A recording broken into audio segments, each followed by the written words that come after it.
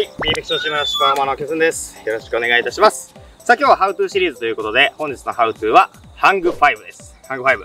まあこのハング5はストリートでも使う人結構近年ね、近年っていうかまあ数年前からか、結構前から、えーストリートでも当たり前に結構使うライダーも増えてきてて、ストリートでも使えるし、えーフラットで、まあ特にフロントライダーは必須トリックにもなってくるかな。えー結構ね、当たり前に使うようなトリックになっておりますので、そちらを解説していきたいと思います。で、えっと、最初に言っておくと、まあ今のね、さっきの形を見てもらったらわかるように、えーハング5、僕はほぼできません。あの、できてるようでできてないという感じだと思うので、コントロールもね、そこまでできないし、ハング5、まあ、リアライダーなんで、フロントトリックは最近ちょっと練習し始めてるんですけど、まあ、ハウトゥーもね、あの、しないといけないなと思いながら、えーやってるので、ハング5も最近ちょっと練習し始めたって感じです。で、今回解説する内容はですね、まあ、基本的なポイントとかっていうのを紹介しながら、まあ、僕なりの練習方法。あの、僕前にこけるのめっちゃ嫌なんで、リアが重いんですよ、僕のね、バランス的にちょっとリア重くしてて、フロント、フロント系全部そうなんですけど、こうやってぶっこけると、リアが高い位置から落ちるんですよね。なので、結構衝撃があって、自転車への負担が大きいので、リアが重い分ね、めっちゃ重いですよ、僕。重く、あ、わざとね、結構重くしてて。なので、あの、フロント、まあ普通はね、あの、こけるように練習した方がね、習得は早いんですけど、それは皆さんのね、他にもハウト動画上がってるんで、そっちを見ていただければと思うので、前にね、こけたくないよという人は、えーぜひ参考にしていただければと思います。はい、ということで早速解説をしていきたいと思います。で、このハングハイムのポイントは2つです。2つ。1つ目は体重移動です。体重移動。で、2つ目は上半身です。上半身のかぶせっていうのがポイントになってきます。じゃあ早速ですね、まず、まあ技の形から解説していくと、右利きの人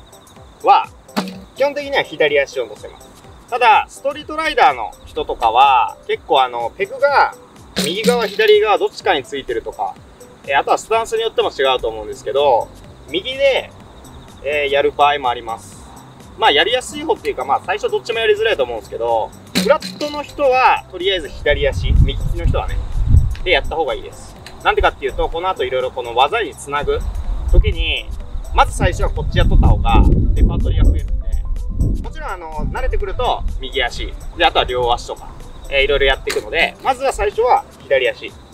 をフロントっていうのは基本になります。で、この状態で、フロント、ハンドルバーをね、前に押し出してあげると、リアが浮いてきますよね。で、ここで、えーシートをケツに当てて、この状態でバランスを取る。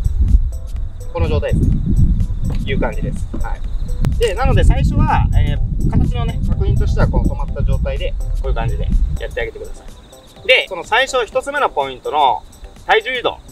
は、この最初のね、リアを上げてくる部分ですね。で、上げ方は、えっ、と、僕はもうペダルから、右足はね、ペダルに乗せた状態で上げてます。ペグから上げてもいいです。右足、リアペグで、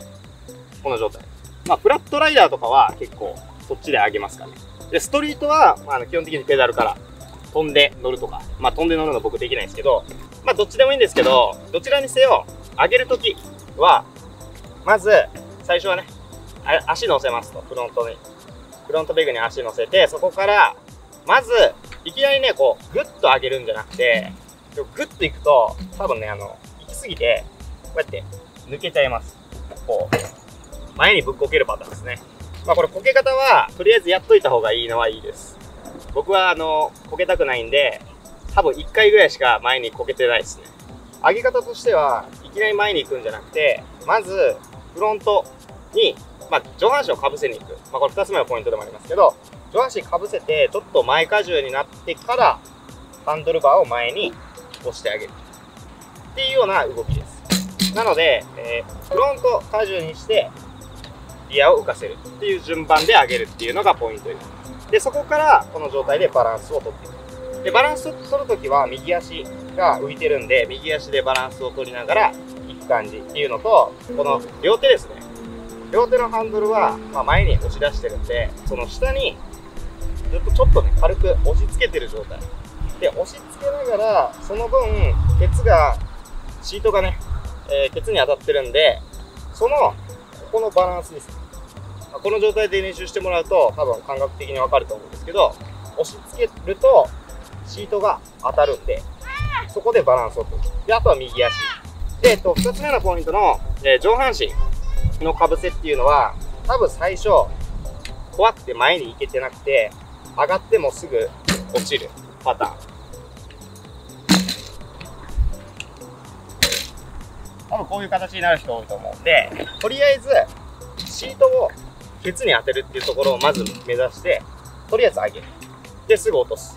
っていうような練習。でこれストリートライダーとか、まあ、僕もそうですけどシートが低い人はより前に刺さないとケツに当たらないんで、えー、結構思ってるより前ですね。でその時にシートに当てようと思っても体が後ろすぎると極端に言うとこういう感じ。だとすぐにこう後ろについちゃうんで上半身は思ってるより結構前です。かなり乗り出す感じ。えっ、とこの足ついてる状態だとこの目線ですけど実際ちょっと膝が伸びるんでイメージ的にはこんな感じ。結構頭がかなり前に出てるような状態でバランスをとっていくっていうような形になります。この状態でまあ練習していきながら徐々にねバランスの取り方とか距離を伸ばしていくっていうやり方で、え、あとはその前にこける練習、まあ、僕はあの嫌なんでやらないですけど抜ける場合は、まあ、いろいろ抜け方ありますけどこのまま両足飛び箱みたいにまだねこうこう抜けていく。方法とか、えー、ハンドル片手ね持った状態で、えー、足だけ抜くみたいな。こける、えー、やり方を覚えた方が多分前にこけるようにした方があのシュートが絶対速いです。そっちの方がバランス取れるんで思ってるよりめっちゃ前なんで。で、えっと、もう前にね、こけたくないみたいな、えー、僕みたいな人は、もう徐々にです。もう徐々に。ちょっとずつ前にで、えっと、多分思ってるより結構いけるんですよ。もう一段階。なんとなくバランス取れるなみたいなところからもう一個前にまではいけるんで、そっちの方が実際バランス取れる幅は広がるんで、えー、そこのね、領域っていうのがあるんですよ。まあ本当にね、前に込めたくないっていう人はもうそういう感じでやってみてください。まあ、もしくはもうここからちょっと右足、えー、でも全然いいんですけど、まあ徐々に、どちらにせよ、ほんまに思ってるより結構前です。体を結構頭突っ込んでいく感じでやってもらうと、かなりいい感じになると思うので、まあ、ぜひね、そこら辺はチャレンジしながらやってみてください。あと、まあ、戻るときは普通にリアを、まあ、手の力抜いたら、こう、リアが落ちるんで、普通に戻る。まあ、これはね、あのすぐできると思うんですけど、え、そんな感じでやってもらうと、え、いい感じです。で、あと、えっ、ー、と、最初はもうまっすぐやってもらって、そこから、まあ、こう、回ったりとか、いうのは、多分ね、あの、まっすぐある程度流せるようになってくると、多分普通にできると思います。もうここはハンドル操作なので、そこら辺はそんなに、あの、気にせず、とりあえずまっすぐ最初練習してもらうといいと思います。はい。ということで、本日はハング5のハウトゥーをさせていただきました。まあ、他にもね、いろんなハウトゥー動画、このラッシュチャンネルで上げてるので、ぜひチャレンジしてみてください。